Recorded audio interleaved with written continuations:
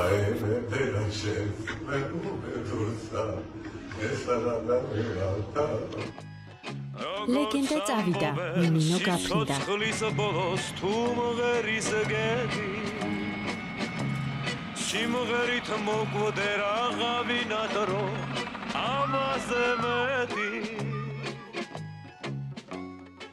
საქართველოს სავიზიტო ბარათი და ელჩი მსოფლიოში, კინომსახიობი, საესტრადო მომღერალი, სცენარისტი, კინორეჟისორი, სიმღერების ავტორი ვახტანგ ბუბაკიკაბიძე 16 იანვარს 84 წლის ასაკში ძიმე ავადმყოფობის შემდეგ გარდაიცვალა. წავიდა, შეუერთდა თავის მეგობრებს და ალბათ ახლა უკვე იქ გადაიღებს მათთან ერთად არ დაიდარდოს მეორე სერიას. ეს არის ფილმი, რომლის გადაღებებმაც ჩაუყარა საფუძველი მათ დიდ მეგობრობას. იყო, ეხლა ალბათ ერთად ზიან გაიგე. სოფიკო იქ არის, დანელია იქ არის, გია ყანჩელი იქ არის, რეზო გაბრიაძე იქ არის. ამე რო ჩავალ მეორე სერიას გადავიღებ რა ალბათ არ დაიდარწოს. ბუბაკი კაბიძის პირადი ცხოვრება ნაკლებად გასაჯაროებული იყო. პრესასთან პირად ცხოვრებაზე ცოტა საუბრობდა, თუმცა ბევრი ჰქონდა სასაუბრო საკუთარ მოღვაწეობაზე, როგორც საქართველოსში, აგრეთვე მის საზღვრებს გარეთ. ვახტანგ კიკაბიძე მეცახელად ბუბა 1938 წლის 19 ივლისს დაიბადა. 1959-65 წლებში სწავლობდა თბილისის ივანე ჯავახიშვილის სახელობის სახელმწიფო უნივერსიტეტში. 1961-63 წლებში უცხო ენათა ინსტიტუტში. 1959 წლიდან იყო ფილარმონიის არტისტი. 50-იანი წლების ბოლოს ფილარმონიის სოლისტობით დაწყებული შემოქმედებითი მოღვაწეობა მალე ანსამბლ დიელოთი გაგრძელდა. გაგრძელდა. შემდეგ იყო ორერა სოლისტობა პარალელურად კინოეკრანზე შექმნილი და სამახსოვრებელი და ყველასათვის საყვარელი პერსონაჟები. საერთაშორისო კინოფესტივალზე კარტანახის 70 მიღებული აქვს პრემია მამაკაცის როლის საუკეთესო შესრულებისთვის ფილმში არ დაიდარდო.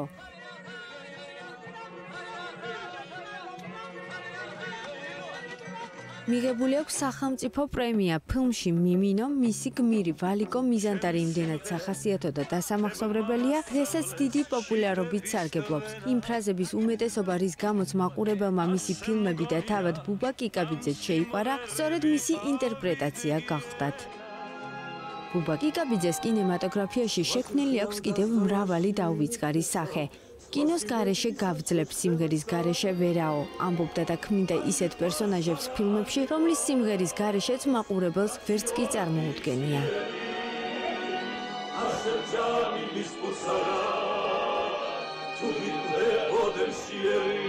გაუმარჯოს პაუდესა დაისხამს და დალესა ვახტანგ კიკაბიძე იყო საქართველოსა და უკრაინის სახალხო არტისტი და თბილისის საპატიო მოქალაქე. ასევე დაჯილდოებული იყო წმინდა გიორგის სახელობის გამარჯვების ორდენით, ხოლო უკრაინაში იაროსლავ ბრძენის ორდენით. 2008 წელს მან არ მიიღო დიმიტრი მედვედევის მიერ გაცემული მეგობრობის ორდენი. გააუქმა კონცერტები და ომის შემდგომ უარი თქვა რუსეთში მოღვაწეობაზე. 2020 წელს ის საერთობაში ასიის პირველ ნომრად დაასახელეს და დეპუტატი გახდა, თუმცა პარლამენტში არ შესულა. ვახტანგ კიკაბიძეს 19 იანვარს დაკრძალავენ. სამოქალაქო პანაშვიდები კი 17 და 18 იანვარს ქაშვეთის ეკლესიაში გამართება. მას თბილისის დიდი საკონცერტო დარბაზიდან გამოასვენებენ და საკუთარი ანდერძის მიხედვით ვერის სასაფლაოზე ოჯახის წევრების გვერდით დაკრძალავენ.